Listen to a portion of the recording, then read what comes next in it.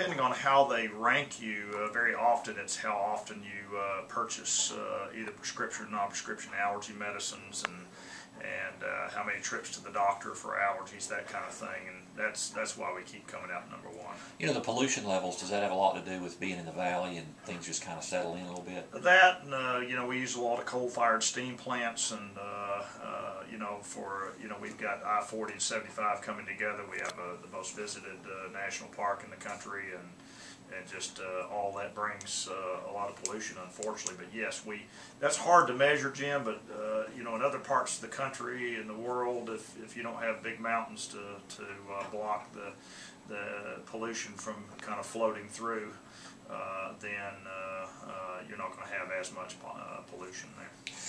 Okay, one of the things I talked about leading into the break is about reducing allergens in our inside the home. Yes. First off, what are our biggest culprits inside the home? Well, the indoor allergens are going to be your dust mites, your pet danders, and the uh, mold is a very common problem in this area, and that's that's very difficult to take uh, to remove outside, of, you know, in your home, especially if you're allergic to it, because you're going to be reacting to small amounts of it. Uh, you also have the dreaded cockroach.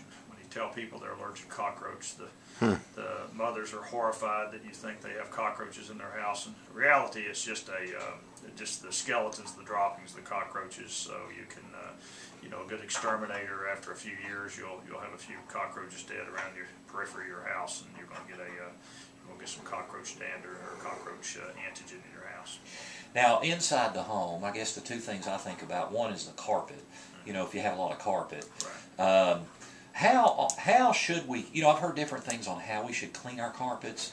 I've heard you should just steam clean. I've or, or that you should steam clean. I've heard others say you shouldn't steam clean because of the water. Right. What what is the best way to keep your carpet clean and free from allergens? Uh, well, that's uh, that's the most difficult because you're going to get uh, uh, dust mites, molds, and animal danders into the carpet and into the backing of the carpet, and even sealed in with the with the liner of the carpet, the the pad in the carpet uh, is a great reservoir for allergens.